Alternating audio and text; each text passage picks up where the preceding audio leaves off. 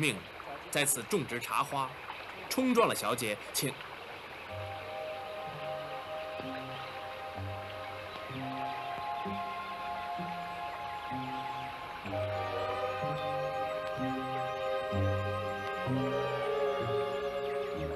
你是？自从在石洞之中拜见姐姐的仙容，已经庆幸福缘非浅，怎知今天更可以亲眼见到神仙姐姐的容貌？人家说仙女下凡，在下看来，大概不会是假的了。他是谁呀？他是阿叔阿碧带来的那个书呆子喽，说是会种花的。书呆子。那么刚才我和小明说的话，你都听见了？在下段誉，是大理人士，不是书呆子。两位可以放心，刚才神仙姐姐和小明姐姐所说的话，我不会泄露出去的。你不要口口声声叫我神仙姐姐了。你还说你不是书呆子，你什么时候见过我？不叫神仙姐姐，那应该怎么样称呼呢？我姓王，就叫我王姑娘好了。不行不行，天下间姓王的姑娘何止千万，像姑娘这样的人，怎么可以就这样叫声王姑娘呢？那叫什么才对呢？叫仙子，太俗气；叫仙女，又太平凡。你不要站在这里啰啰嗦嗦的，快点种花吧。我还有很多话要跟小明说呢。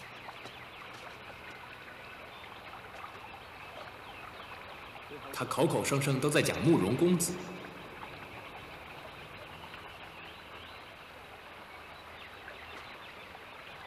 少林寺是武林的泰山北斗，寺中的高手没一千也有八百，个个身怀绝技。这次玄杯大师身死大理，江湖上传说，是姑苏慕容干的。慕容公子独闯少林，真是太危险了。为什么少林寺的和尚一定要冤枉是姑苏慕容干的呢？你知不知道？如果我告诉了他，他听完就会走。不行，让我短话长说。我自己又不会武功，什么金鸡独立、黑虎偷心，甚至连最简单的招式我都不会。你不要再啰嗦了，快点说正经事吧。这件事说来话长，我们坐下来慢慢讲。我没有空。今天你没空，明天吧。明天你没空，后天吧。后天也没有空，那大后天吧。不是啊，小姐，我听夫人说，表少爷的祸越闯越大了，和丐帮结怨，又弄成是少林寺的对头，只怕表少爷要死无葬身之地了。我娘也真是的，明知道表哥有危险，也不去帮帮他。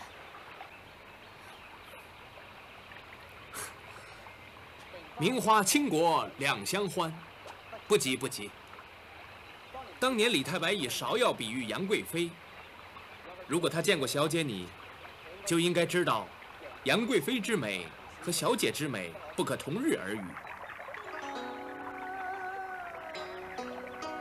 不过在曼陀山庄里，除了我母亲之外，所有的人都是下人。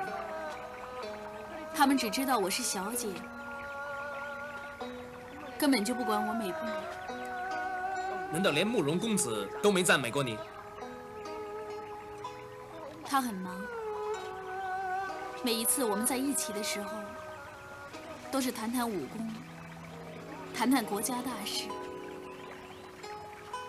我讨厌武功。是啊，我最讨厌练武了。我爹整天逼我学武功，所以我偷偷溜出来了。我为了想见他，虽然很讨厌武功。还是逼自己熟读武功的秘诀，谨记在心里。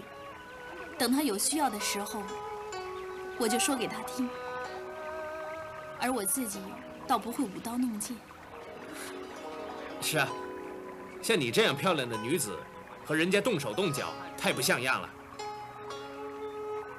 呃，对了，为什么他自己不看，要你讲给他听呢？难道他不认识字，或者是瞎子？不是不是，我应该说他是天下第一大好人，这样好不好听啊？他是不是天下第一大好人，我不知道。天下的好人、坏人，我都没有见过。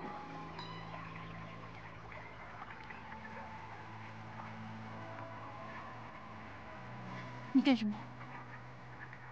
哎，你叫什么名字？你这个人真怪，把手伸出来。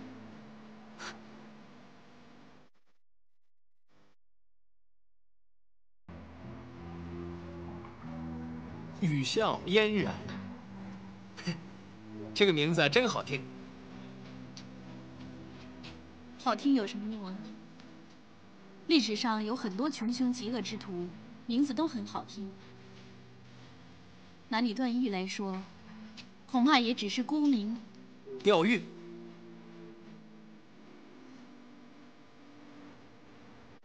你怎么了？哦，没什么。呃，对了，听说少林高僧玄悲大师是被姑苏的以彼之道还施彼身害死的。不会的，我表哥不会害死少林高僧。小姐，我们还是走吧，要是让夫人看到了，就糟了。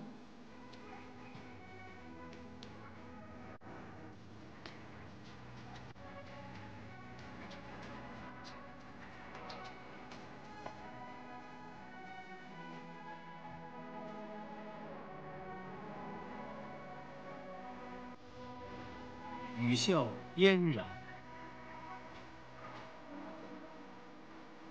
如果他对我像对他表哥那么好，段誉死又何妨？你们两个丫头真是大胆，居然擅自带人进入曼陀山庄，而且还是个男人。王夫人，我们是被人追杀的，才走入曼陀山庄，请您原谅。混账！如果每一个人都这么说，曼陀山庄跟村镇俗地有什么分别？小明，在。把他们两个押下去，两天不准吃饭。是。王夫人，我们是无意的，你看在我们公子份上放过我们吧。啊，是啊。好，我就看在你们公子份上。小明，是夫人，请严婆婆把他们两只左手砍下来，当做花肥。王夫人，放过我们吧，我们是无意的。王夫人。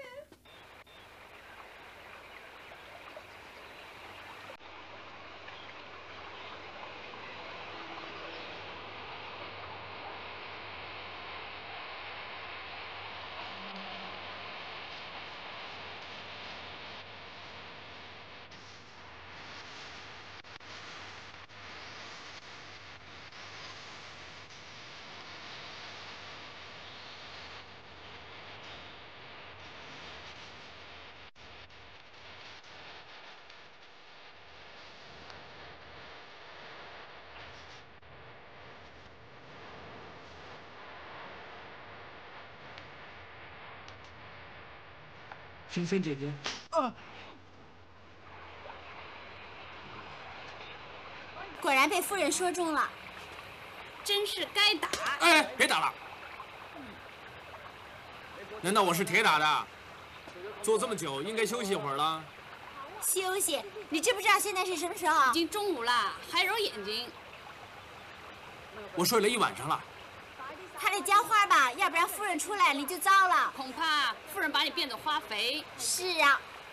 我段誉虽然不会武功，但是我不会害怕的。俗话说，士可杀不可辱。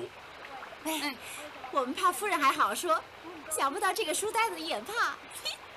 喂，小明啊，嗯，我们还是进去吧，万一夫人找不到我们就糟了。是啊。喂，现在我们进去啦，不要老想着睡觉啊！哎，快点干活哈！走。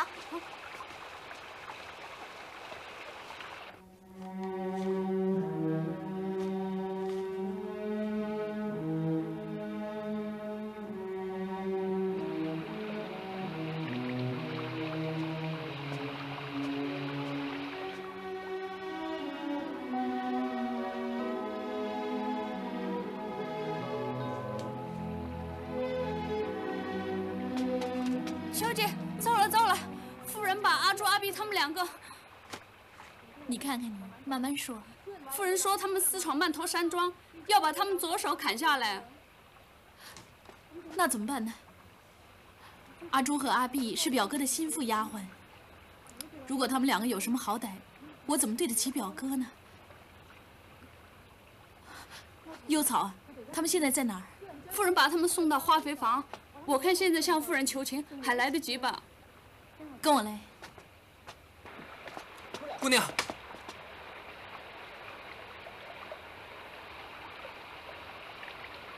你跟我来。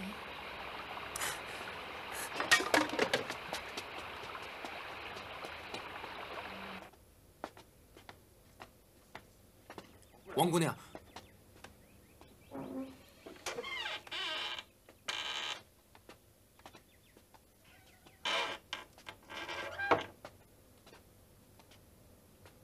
娘，你来干什么？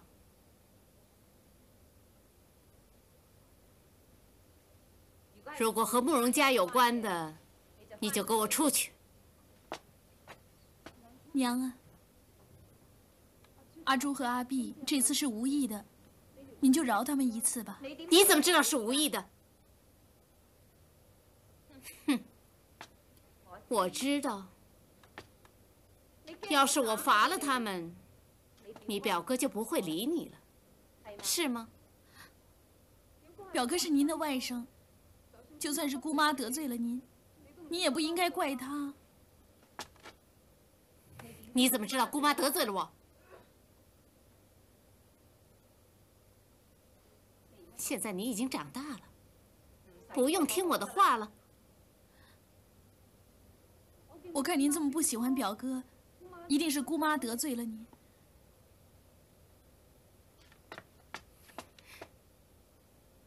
你有没有听别人提起过？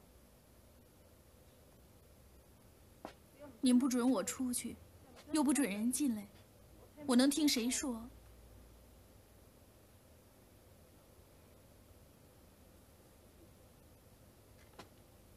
我都是为了你好。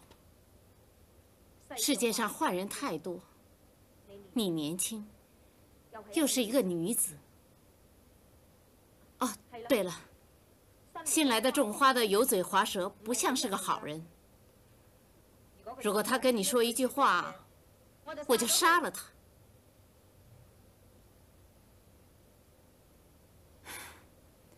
像你这么心软的人，不知道什么时候才知道人心险恶。吩咐下去。如果有谁敢跟新来的小子说一句话，我就割掉他的舌头。是。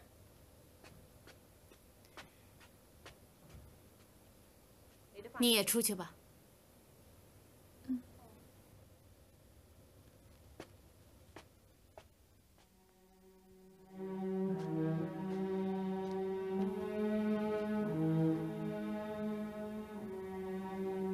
您饶了阿朱和阿碧吧，最多以后不准他们来曼陀山庄。我说的话难道你敢不听吗？不要多说了。我知道你为什么这样恨表哥和姑妈了。回来。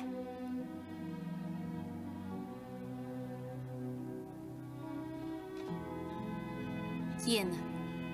你究竟知道什么？不准瞒我。姑妈说您乱杀人，又和武林中人结怨。是啊，那又怎么样？哼，我王家的事与他慕容家无关，他凭什么管我？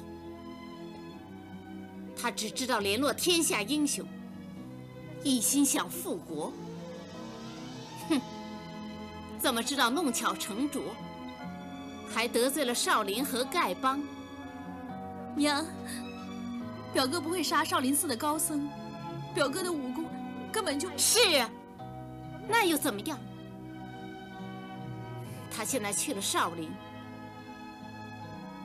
南慕容，北乔峰，我看他们有多大本事，不自量力。娘，你想想办法救救表哥吧，不然姑苏慕容就会绝后了。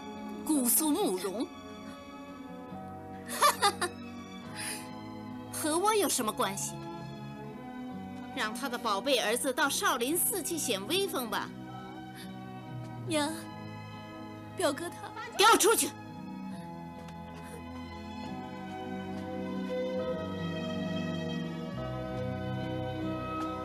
小姐，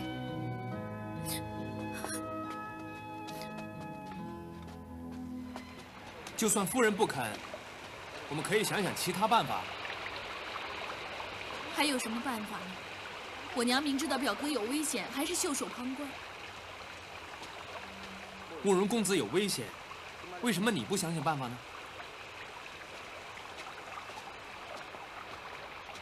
就算我有办法，我娘也不会让我去。夫人不答应，你可以偷偷出去，像我一样，他们骂你也听不见了。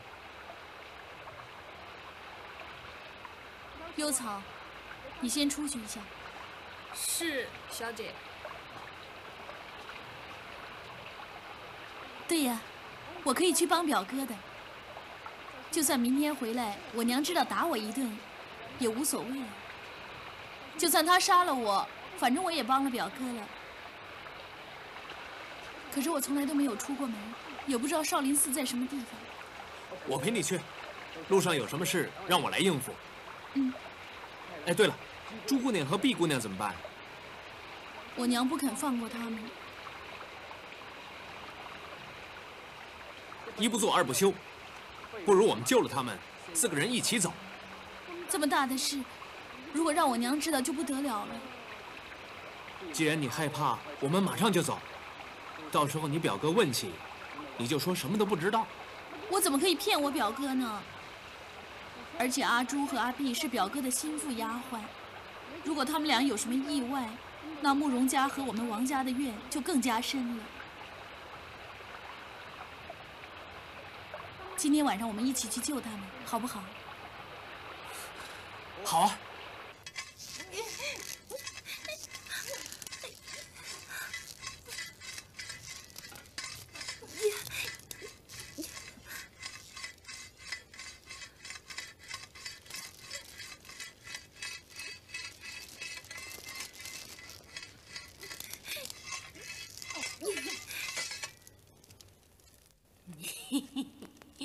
Ooh.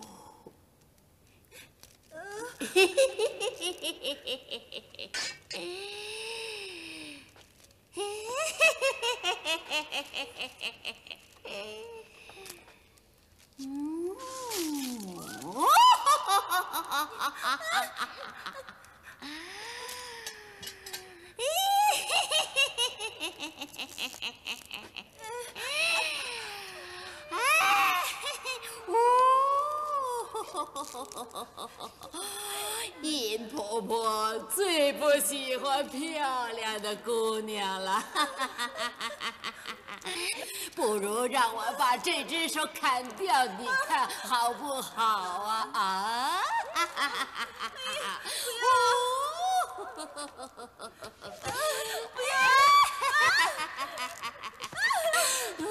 你的手更漂亮，反正花费还不够。不如我跟夫人说，把你的手也砍掉，好不好啊？哎呀！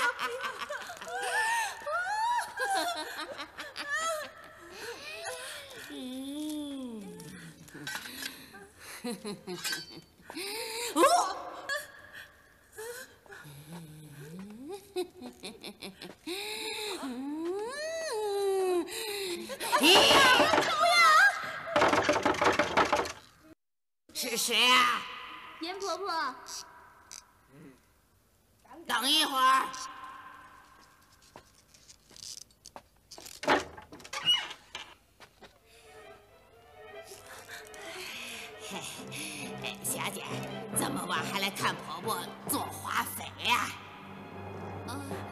吩咐，有点事要问他们两个，叫你把他交给我，问完了再送他们回来。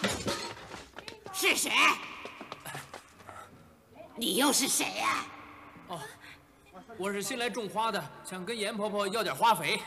嗯，你等一会儿就快有了。来，小姐，呃，表少爷很喜欢这两个丫头啊。是啊，你千万别伤害他们两个。夫人说要砍到他们俩一只手下来，还要赶他们俩出去，不准再回来。如果再见到他们俩，就连头都砍下来。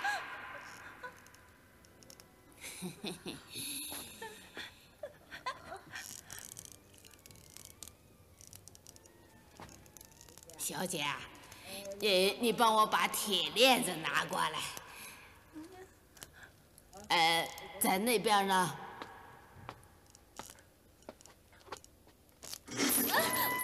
王姑娘，王姑娘，放开我！王姑娘，快点放开我！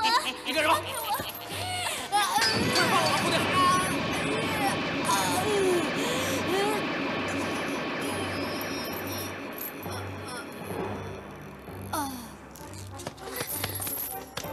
王姑娘，你没事吧？我没事，快点放了他们两个。哦，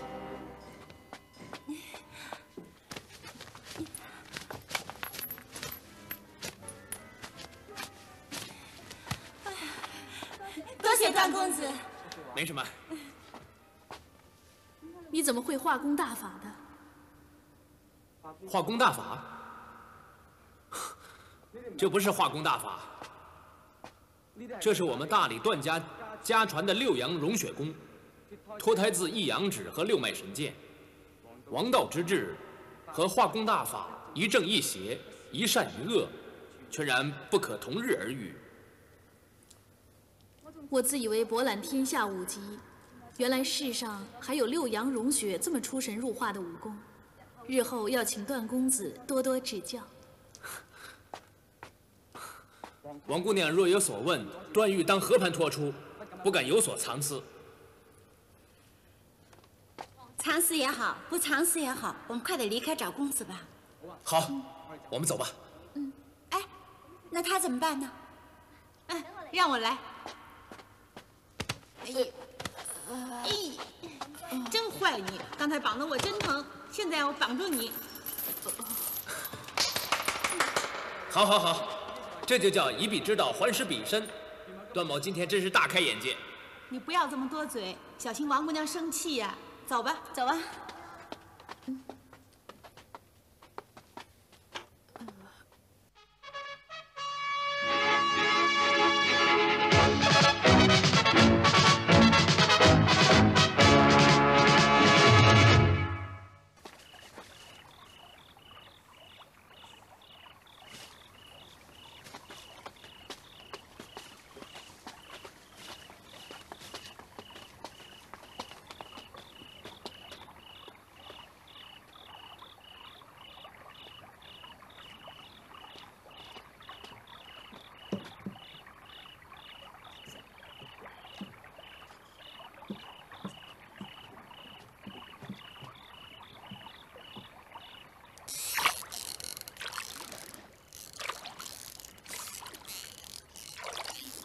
段公子啊，这只船为什么走得这么慢呢？不知道因为你在划吗？我 段公子，让我来，你陪小姐聊天。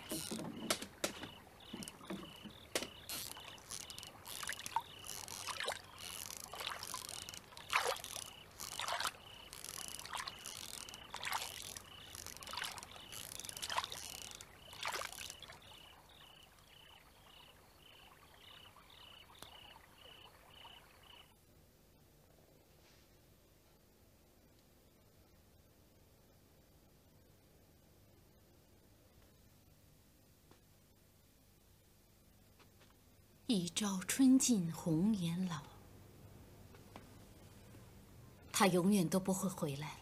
夫人，夫人，夫人，小姐跟阿阿朱、阿碧他们走了。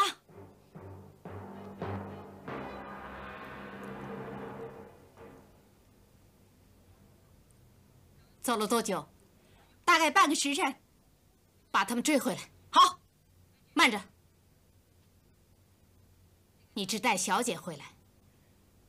至于阿朱、阿碧和那个姓段的小子，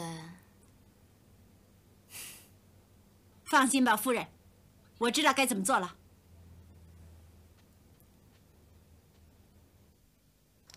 小姐，我们先去听香水榭，过了今晚再去找公子，好不好？也只好这样了。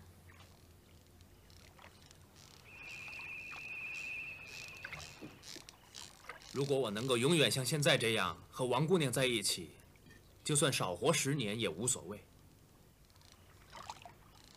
不知道表哥现在怎么样？你放心，公子武功高强，纵横江湖，绝无对手。但是少林寺领导武林数百年，非同凡响。我怕表哥独立难支，希望少林寺的高僧能明辨是非，肯听表哥解释。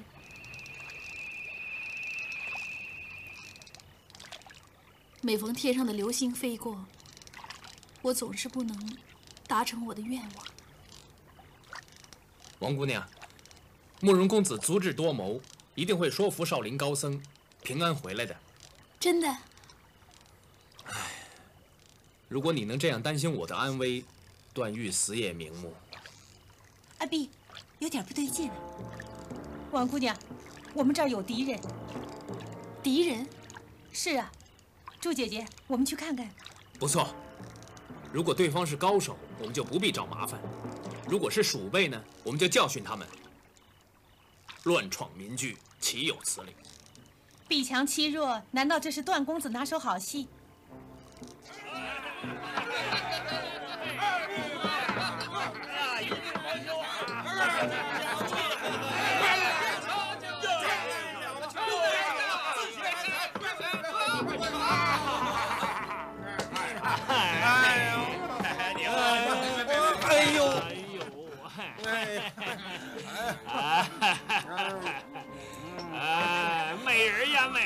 我请你吃鸡腿啊！有鸡没酒，哎，来来，喝喝喝喝喝呀！嗯，暴殄天物，岂不可惜？东西又不是你的，用不着你多事。是啊，回来。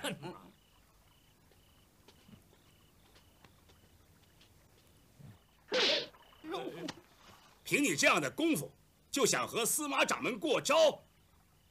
你想找死啊？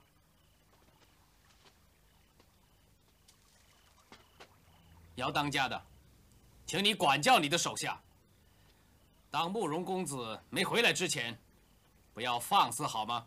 原来又是找公子麻烦的，让我进去赶他们走。哎，先看清楚。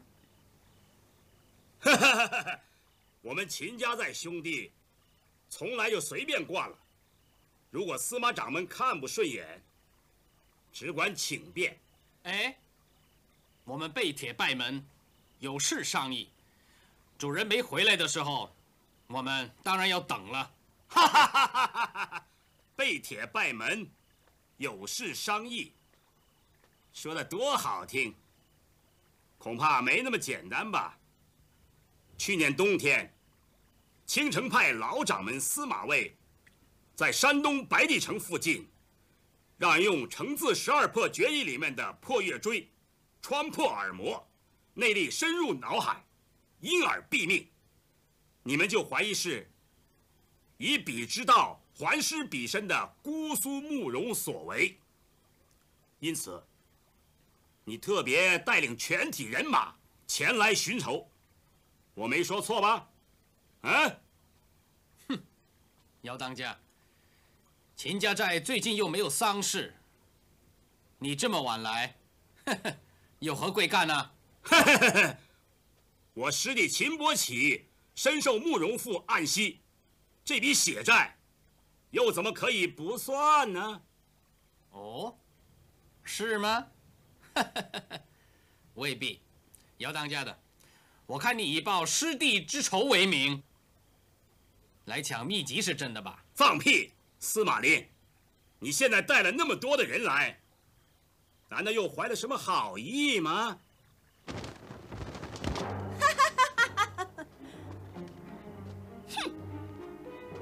你们是什么人？来这里干什么？识相的，快把小姐交出来！我们是什么人？用不着你管，走开！别挡着我教训他们！快！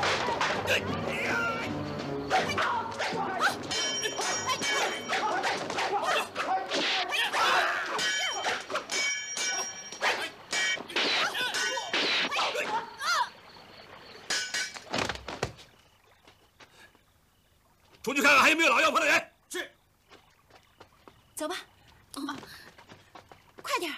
为什么他们？哎呀，走啊！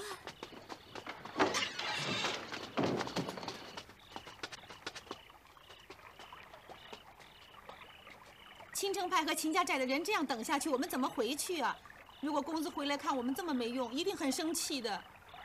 这又不能怪你们，他们人多势众，两位姐姐跟他们斗，无疑是螳臂挡车。好了好了，别在这儿文绉绉了，烦都烦死了。表哥亲手布置的听香水榭，给这些家伙搞得一塌糊涂。表哥一定不开心。段公子，我们可要想个办法赶走他们。是，我现在就去跟他们理论，叫他们马上离开。哎，段公子，你凭什么跟人家理论？就凭你这张嘴？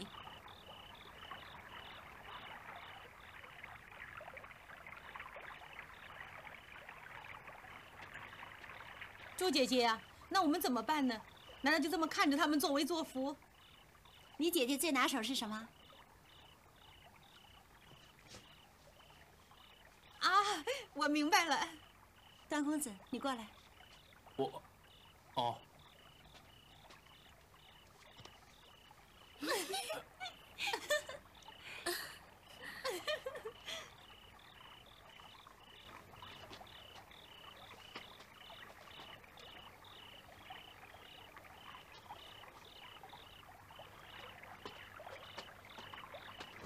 谁？站住！啊，呃，我们是来找老顾的。老顾是谁呀、啊？哦，呃，他是这里的厨子。找他干什么？哦，呃，我们捉到的新鲜鱼，问他要不要。嗯，这鱼好腥啊！腥才新鲜呢。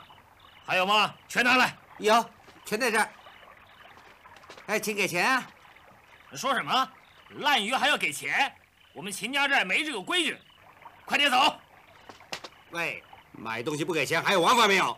去你的！哎，是女人，抓住她，奸细！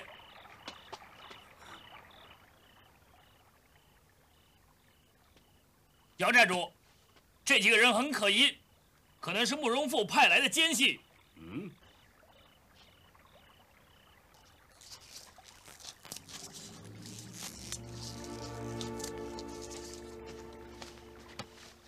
你们来这儿干什么？快回答我！我是这儿的主人，你问我们来干什么？我问你才对呀。不过你不说，我们也知道。你知道什么？你想学我们慕容家的武功，来偷秘籍的是吗？胡说！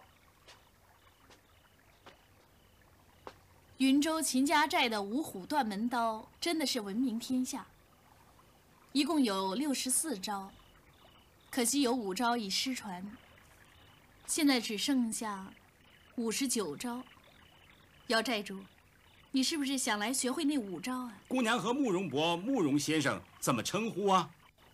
慕容老爷是我的姑父。久仰，姑娘刚才所说的五虎断门刀失传了五招，可否请姑娘见告？这五招就是白虎跳涧、一笑风生。简朴自如，雄霸群山，和福相圣师。姑娘见识渊博，在下佩服。未知姑娘是否猜得出在下的来历呢？当然知道啊，女士、哎、阿碧。猜人来历的时候，一定要令对方口服心服。嗯。嗯，好。那请你一显身手，单凭几句话，小女子无能为力。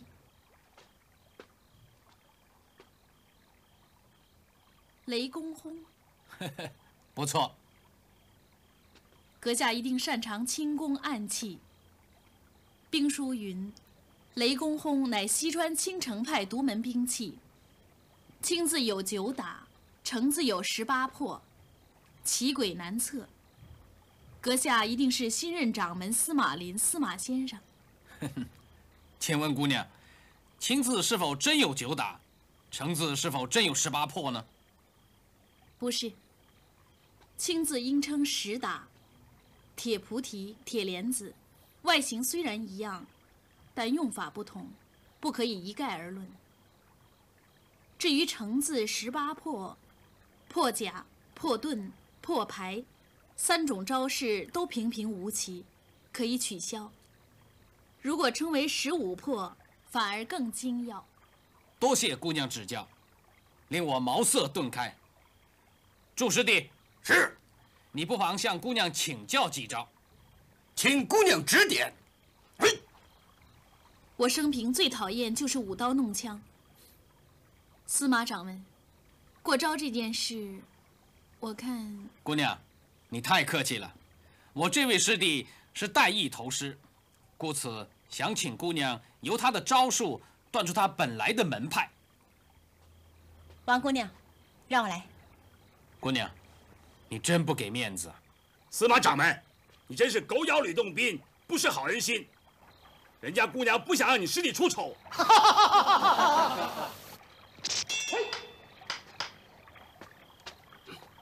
暗箭伤人算什么英雄好汉？寨主，我们上！哎，朱兄弟，你这招功夫不动声色，的确高明，不知是不是青字实打功夫之一呢？你错了，他这招是蓬莱派的天王补心针。姑娘，你错了，这招是我青城独门暗器，青字第四打，叫清风打，和天王补心针是一样的。清风针和天王补心针外形虽然完全一样，但暗器的本质不在于外形和发射的姿势，而是暗器的劲力和去势。你，姑娘，朱某和你无冤无仇，为什么你要冤枉我呢？王姑娘，小心！段公子，多谢你。朱大爷不会杀我的，他是个好人。倾城蓬莱，世代为仇。冤冤相报何时了？朱大爷，你又何必为蓬莱派卖命呢？祝宝坤，原来你是卧底，那老掌门一定是你所害了。我没做过这种事，难道我会相信你们？哟